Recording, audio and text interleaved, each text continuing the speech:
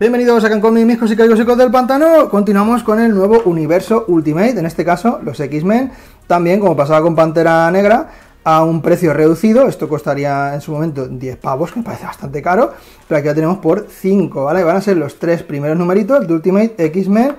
eh, guionizado y dibujado por el mismo Moco, que yo no conocía a esta artista y guionista, pero la verdad que está muy bien lo que nos presenta aquí, porque como hacen un poco aquí un símil a lo que fue los Ultimate X-Men de la época del primer universo Ultimate, donde se intentaba captar a ese público joven, ya sabéis, ese público de los 90, de los 2000, donde pues se llevaba ese molonismo exacerbado, esos adolescentes, teenagers con las eh, hasta arriba, y eh, aquí lo que vamos a tener va a ser pues una idea parecida, pero quizá adaptada al público que tenemos hoy en día, aficionado al manga y demás, y por eso este estilo de dibujo, lo cual a priori puede chocar bastante en una serie de los X-Men con este tipo de dibujo, pero la verdad que está muy chulo, yo no la conocía hasta este Pismomoco, la verdad que está bastante guay. Y aquí vamos a tener, pues además, como suele ser muy típico, la típica historia de un, eh, grado de secundaria de, de una escuela japonesa, donde nos van a mezclar las, historias un poquito de terror, como esta sombra extraña,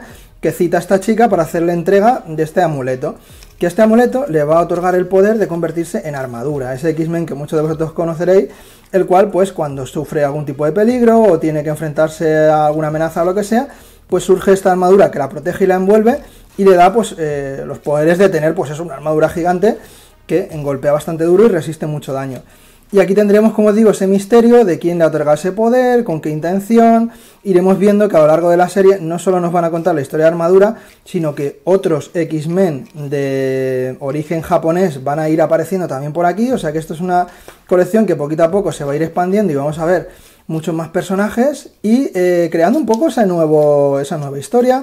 este nuevo rollito de superhéroe mezclado con terror muy ligerito, pero bueno, ahí lo tenéis y a mí verdad que me ha entretenido bastante, así que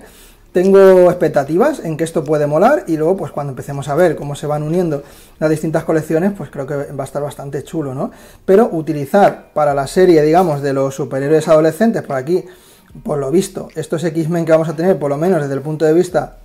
de los que están en Japón, pues van a ser todos eh, muchachicos jovencitos, ¿vale? El dibujo es una preciosidad, o sea, es un rollito eh, manga, pero sí que tiene un poco ese ligero toque quizá europeo, o un rollito fusión ahí bastante curioso, que la verdad que me, me, ha entrado bastante por los ojos, ¿vale? Veremos a ver ese segundo tomo, aquí pues empezamos a ver un poquito ya el principal villano quién es, se empiezan a plantear los primeros misterios, vamos viendo cómo Armadura pues va asimilando un poco sus nuevos poderes y esos personajes secundarios que también van saliendo,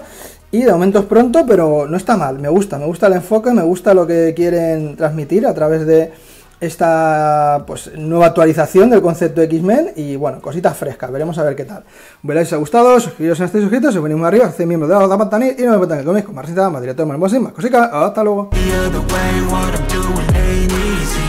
hands stained from the people who deceive me. Muddy hands break through the chains, go free me. People like sheep move feet, hurt it easy. You don't wanna be fast asleep when they scheming Better stand tall, ready for a fight, believe me. When they try to chains, you can say no, free me.